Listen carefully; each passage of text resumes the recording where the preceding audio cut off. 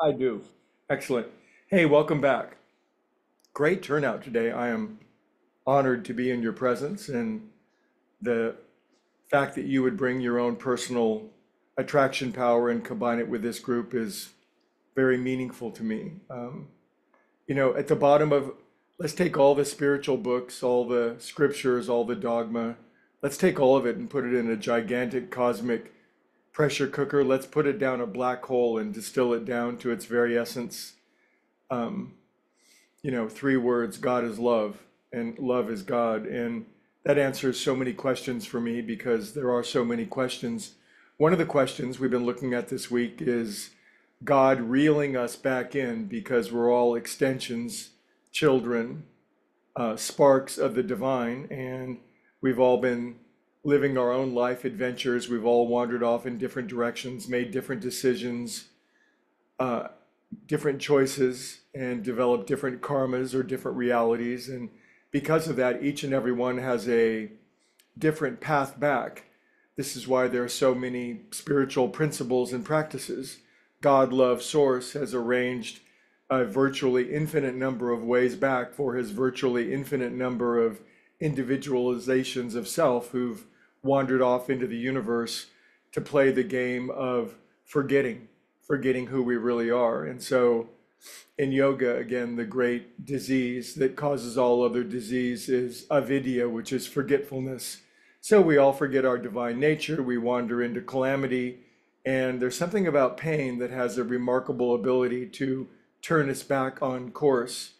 But then I, here's a question for you, and the question is once we do make this internal shift from the outer to the inner, and we realize that self realization is the only thing that's ever really going to do it for us, how much is our own effort and how much is the mercy and the grace of God love source, the infinite, the divine of which we're all one? And that is that is up for debate. I mean, I simply find it impossible to believe that we achieve self realization, our God consciousness, we achieve our union with God without some effort on our part, without some shift in consciousness, without an honesty and an openness and a willingness, without a deep turning of our soul from, from the false to the true.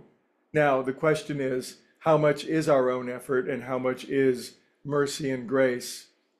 Well, many great yogis have discussed that, but I believe a great milestone in the life of every soul is when, as we're wandering through the abyss of time and space, seeking all the joys and pleasures, seeking pain or seeking pleasure and avoiding pain, maybe sometimes seeking pain, but in all those wanderings, there's a shift in every single soul that's a milestone, and it's the milestone from seeking the outer world to seeking the inner world. It's that point where, with enough years and lifetime, or enough lifetimes, that you've simply you've had your sex, you've had your money, you've had your prestige, you've had your reputation, you've had your career, you've had your kids, you've had your stuff, you had your yacht. You've also had the lack of all that. You've had the lack of the kids, you had your lack of sex, you had your lack of money, you had your lack of prestige, you had your lack of admiration. You've bounced back and forth between having it and not having it. And there's this point where the, the game is exposed, and we realize all those are simply reflections of a love that's so much greater that, you know, how many ice cream cones can you have, you know, before there's this realization that it's all just representative, it's all symbolic of an internal great cosmic love that nothing else will do. And when we've made that shift, we still live in the world and we certainly enjoy the blessings that we have, but we know that as long as we keep our focus impo- pointed internally toward the great good, that it will unfold and will the amount of time and space we'll have to suffer through before we get back to our true nature will unfold. And with that in mind, today this great yogi came to my mind. His name is Sri Nisargadatta Maharaj. His quotes are mind blowing. I'm just going to, today I'm going to conclude with some quick readings from Sri Nisargadatta Maharaj, one of the great yogis of the 20th century. he lived on a street corner in Benares in India and he sold cigarettes. So you can do that if you're a sage. He says, here's just a few.